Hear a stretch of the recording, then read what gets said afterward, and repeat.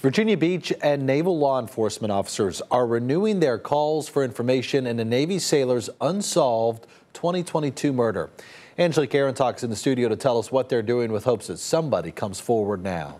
Dan, more than one year later, police investigators still lack key details surrounding this military service member's shooting death in the Lake Edward neighborhood. Both Virginia Beach crime solvers and the Naval Criminal Investigative Service, or NCIS, are ready to shell out thousands of dollars for the tipster who can help crack the case. Loved ones remember 24 year old Gabriel Martinez as an always happy and helpful person. 13 News Now spoke with his family last month. It's kind of the, the glue that held us all together. The active duty sailor was stationed at Naval Station Norfolk. He went to a Christmas party with colleagues and left Omega Bar in Virginia Beach on December 3, 2022.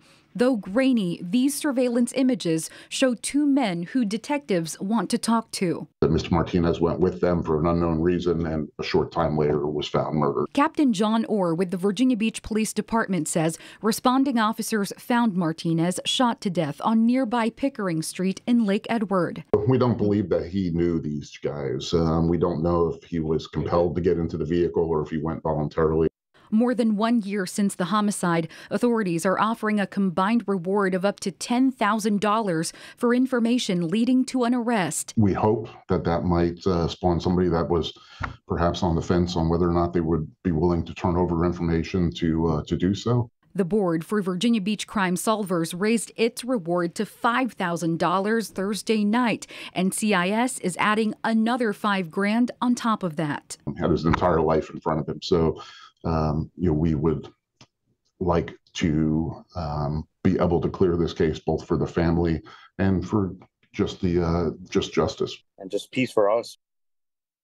As a reminder, tipsters don't have to get involved.